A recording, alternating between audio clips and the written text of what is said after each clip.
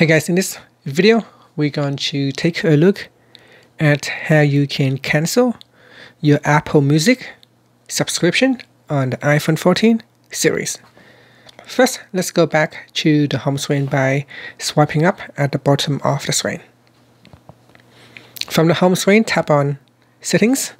Now in here, you have two different ways how you can cancel subscriptions.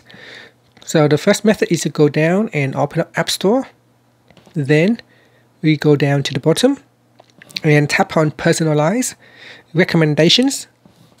In here, we go down and tap on subscriptions.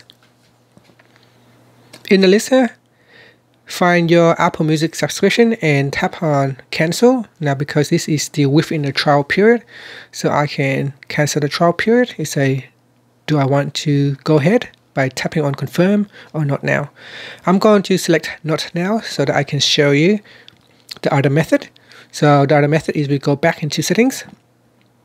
From the settings screen, we tap on your Apple account. Then we go down and tap on subscriptions. Now in here, tap on cancel free trial or cancel your subscriptions. And then again, you can tap on the confirm button to confirm. And that's it. You say your subscription, uh, subscription has expired.